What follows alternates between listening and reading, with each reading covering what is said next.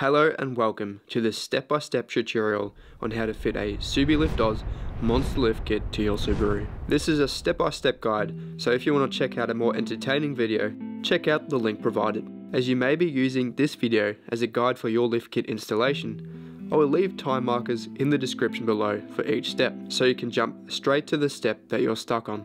This installation is also taking place on a 2003 SG Subaru Forester, so some steps may be different for your Subaru model. Please also note this guide is based on the Subi Oz fitting instructions and they should be your primal source of information. In terms of tools, what you will need is a complete socket set, a breaker bar, a torque wrench, assorted screwdrivers, pliers, a bucket, at least two axle stands and a trolley jack. You should expect the installation to take at least two days if working by yourself.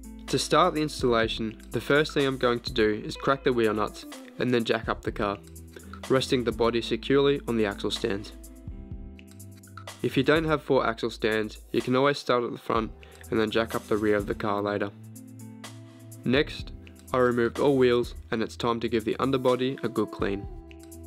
I find jacking up the car with all wheels removed gives the best access to the underbody of the car as you want to remove as much dirt as possible. Now that the underbody is clean, we can move to the engine bay and start by disconnecting the battery.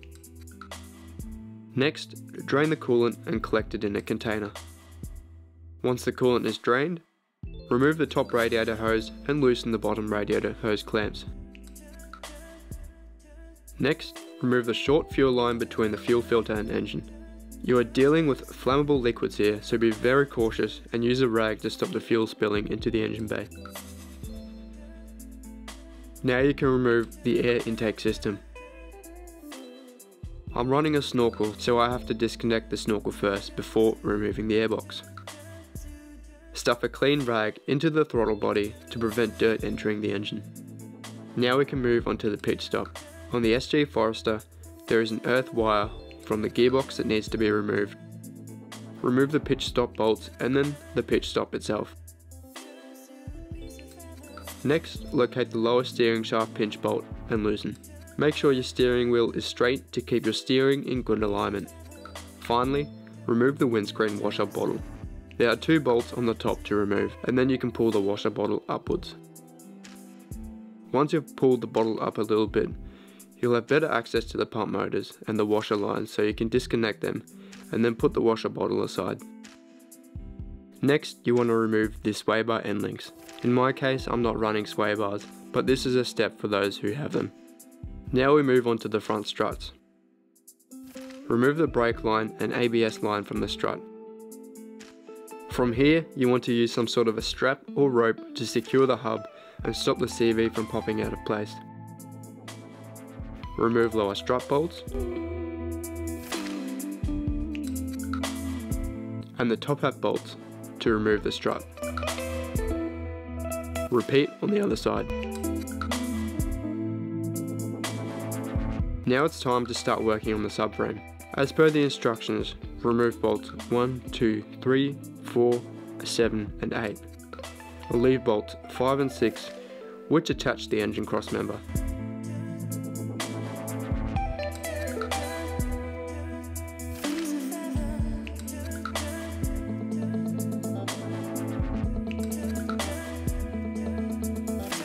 Loosen the lower control arm bush nuts and remove the LCA bolt.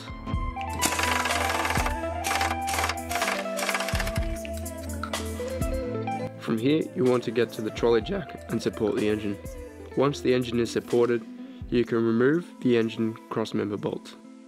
There are two nuts that can be loosened from the wheel well, and the bolts themselves are secured on the bracket. These brackets are found next to the ABS box on the driver's side and underneath the washer bottle on the passenger side. These are also held in by screws, which you will have to remove. I find the passenger side quite tricky to remove, as there is a solid line above it. The line however is quite soft and easy to bend out of the way.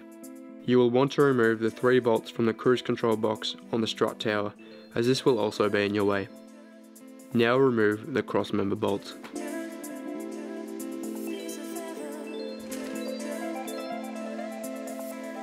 With all the bolts removed, check your fender liner is not connected to the subframe. If so, remove the connecting clips. Now you can slowly lower the subframe, checking that nothing is catching as you lower. Now that the subframe is lowered, insert the engine crossmember spacers and fit the supplied bolts. Fit the LCA spacers and supplied hardware. Now you can reposition the jack to support the gearbox. Remove the front and rear transmission crossmember bolts and then lower the transmission. Now fit all subframe spacers and hardware, but don't tighten until all bolts are in. Remember to use medium strength thread lock on all hardware. I found using a jack as support on the rear of the subframe was very helpful to keep the subframe aligned. Once all spacers and hardware are fitted, torque bolts to the specifications as per instructions. Now we can move on to the strut top spacers. Take note that the strut top spacers have an R and L with arrows on them. R represents the driver's side and L represents the passenger side. When fitting the arrow should point inwards towards the transmission. While I was at it I replaced the strut top hat as the old ones are worn. This is not a step in the installation, but while the strut was out I figured I may as well replace them. Tighten all strut top spacer nuts and remember to use thread lock. I found using a long screwdriver jammed between the strut top studs was useful to stop the strut moving while tightening. Refit struts and fit strut bolts loosely. Apply anti-seize to the lower strut bolts and tighten. When fitting the camber bolt, rotate to maximum camber. Remember, you will get a wheel alignment to fix the camber later. Tighten the strut top nuts and torque the lower strut bolts as per instructions.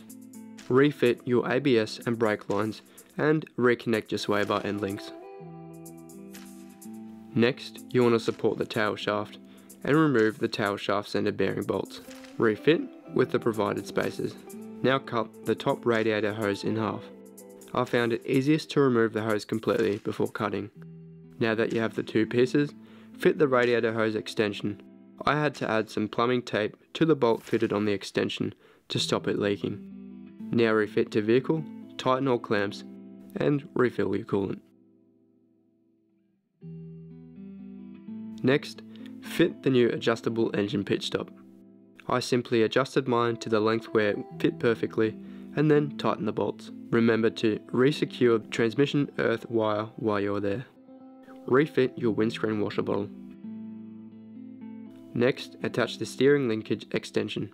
I remove mine from the car for easier access. Make sure your steering wheel and front wheels are in the straight position when fitting, otherwise your steering will be off. Fit the extended fuel line supplied in the kit. Refit air intake system and reconnect snorkel if you have one. Remember to pull the rag out of the throttle body before fitting the intake. Now start the engine. Check for leaks and make sure everything is tight and working properly. Now it's time to start working on the rear. First, remove the handbrake cable brackets on the trailing arms. Next, remove your centre and rear exhaust sections. If you have sway bars, remove them next. Remove your brake line from the strut. Now, move to the interior of the car and remove the strut top cover trims. Then, remove the strut top bolts. Remove lower strut bolts and remove the strut remove your trailing arm bolts. Now you want to support the rear diff with a jack, followed by unbolting the rear subframe bolts as shown here. These are accessed from your wheel well. With the rear subframe bolts removed, you can now carefully lower the subframe. Loosely fit the rear subframe spacers and hardware. Reposition the jack to support the rear diff outrigger. Once supported, remove the diff outrigger bolts fit the trailing arm spacers, and loosely fit hardware. Fit the diff outrigger spacers and hardware as shown. I had to remove the massive washer from the top of the outrigger bush to the bottom. With all subframe spacers fitted, torque bolts as per instructions. Fit the rear strut top spacers. Again there is an L and an R representing left and right, so make sure you fit the correct spacer to the correct strut. Apply anti-seize to lower strut bolts and fit. Replace the upper bolt with the supplied camber bolt. Make sure the tab on the washer faces inwards when fitting. This allows for maximum camber. Fit strut top bolts and brake lines. Reconnect your sway bars. Fit the handbrake bracket extensions as shown. Lastly, fit the exhaust. You can use coat hanger wire to secure the two rear hangers to the body as the exhaust will no longer line up. I welded some new hangers on, so the wire is just a temporary measure until you get to an exhaust shop. At the very least, ask them to fix your exhaust hangers, but you're better off asking them to tuck your exhaust up into the body for better clearance. Refit your wheels and lower your car.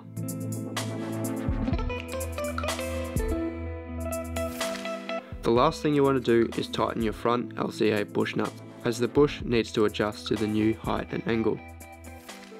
And there you go, you just fitted a monster lift kit to your Subaru.